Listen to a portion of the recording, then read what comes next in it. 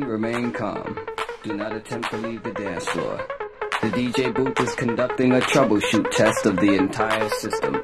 Somehow, while the party was in progress, an unidentified frequency has been existing in the system for some time. And while many of you have been made too brainwashed to comprehend, this frequency is and has become a threat to our society as we know it. This frequency has been used by a secret society in conjunction with Lucifer to lure and prey on innocent partygoers with hypnotism, synchroprism, technology, lies, scandal, and pornography.